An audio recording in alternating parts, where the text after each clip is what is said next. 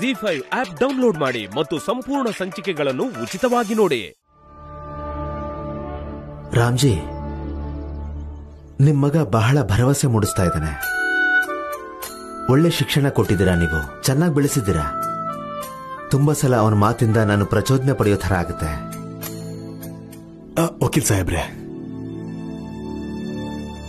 ಸಾಹೇಬ್ರೆ ನಿಮ್ಮ ಹತ್ರ ನಾನೇನು ಹೇಳಬೇಕು? ಹೇಳಿ ಅದೇನು? ಸಾಹೇಬ್ರೆ ನನ್ನನ್ನು ಕ್ಷಮಿಸಿ.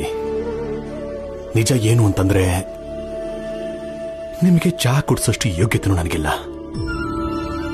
ಏನು ಅಂತಂದ್ರೆ ನಿಮ್ಮನ್ನ ಆಫೀಸಿಂದ ಹೊರಗಡೆ ಕರ್ಕೊಂಡ್ಬಂದು ನಾನು ನಿಮಗೆ ಒಂದು ಮಾತು ಹೇಳಬೇಕಿತ್ತು.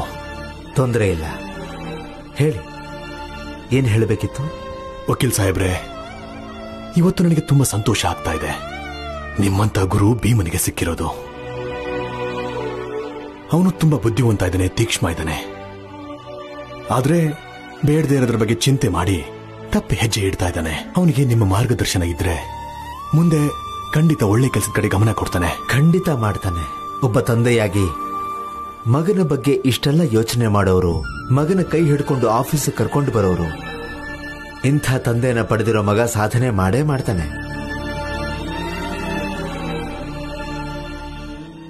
ವಕೀಲ್ ಸಾಹೇಬ್ರೆ ನಾನು ಜವಾಬ್ದಾರಿ ಇಲ್ಲದೆ ಇರೋ ದುರಾದೃಷ್ಟವಂತ ತಂದೆ. ದುರಾದೃಷ್ಟ ಯಾಕೆ ಅಂತಂದ್ರೆ, ನನ್ನ ಜೀವನದಲ್ಲಿ ನಾನು ಕೊನೆವರೆಗೂ ನನ್ನ ಮಗನ ಜೊತೆ ನಿಲ್ಲಕ್ಕಾಗೋದಿಲ್ಲ. ಮತ್ತೆ ನನ್ನ ಜವಾಬ್ದಾರಿ ಇಲ್ಲದೆ ಇರೋನು ಯಾಕೆ ಅಂದ್ರೆ, ನಾನು ಭೀಮನಿಗೆ ಹೇಳಿದ್ದೆ. ನಿನ್ನ ಓದು ಬರಹಕ್ಕೆ ನನ್ನಿಂದ ಒಂದು ಆಣಿನೂ ಸಿಗಲ್ಲ ಅಂತ. ಆದ್ರೆ ವಕೀಲ್ ಸಾಹೇಬ್ರೆ, ನನಗೆ ಏನ್ ಅನಿಸ್ತಾ ಇದೆ ಅಂದ್ರೆ, ಭೀಮಾ ನಿಮ್ಮಷ್ಟೇ ದೊಡ್ಡ ಬ್ಯಾರಿಸ್ಟರ್ ಆಗ್ಬೇಕನ್ನೋದೇ ನನ್ನ ಆಸೆ. ಹೆಸರು ದುಡ್ಡು ಸಂಪಾದಿಸಬೇಕು ಜನ ಅವನನ್ನ ಗುರುತಿಸಬೇಕು. ನಾನೊಬ್ಬ ತಂದೆಯಾಗಿ, ನನ್ನ ಆಸೆಗೆ ಕೊನೆನೇ ಇರಲ್ಲ. ಇದನ್ನ ಆಸೆ ಅನ್ನಲ್ಲ, ಕನಸು ಅಂತಾರೆ. ನಿಶ್ಚಿಂತೆಯಿಂದ ಇರಿ ನಿಮ್ ಮಗ ನಿಮ್ ಕನ್ಸನ್ನ ಖಂಡಿತ ನೆರವೇರಿಸ್ತಾನೆ. ಆಮೇಲೆ, ನೀವು ನನಗೆ ಚಹಾ ಕುಡಿಸೋದು ಮರಿಬಾರ್ದು. ಭೀಮ ಸಂಪಾದನೆ ಮಾಡಕ್ ಶುರು ಮಾಡಿದ್ಮೇಲೆ ನೀವು ಚಹಾ ಕೊಡಿಸಿವ್ರಂತೆ. ರಾಮ್ಜಿ, ನಿಮಗೆ ಇನ್ನೊಂದು ವಿಷಯ ಹೇಳಬೇಕು. ನೀವು ಸಾಮಾನ್ಯವಾದ ತಂದೆ ಅಲ್ಲ. ಭೀಮನಂತ ಮೇಧಾವಿಗೆ ಜನ್ಮ ಕೊಟ್ಟವರು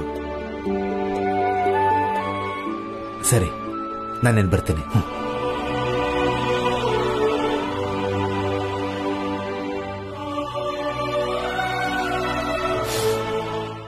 ಜಿ ಫೈವ್ ಆಪ್ ಡೌನ್ಲೋಡ್ ಮಾಡಿ ಎಲ್ಲಾ ಸಂಚಿಕೆಗಳನ್ನು ಸಂಪೂರ್ಣ ಉಚಿತವಾಗಿ ನೋಡಿ.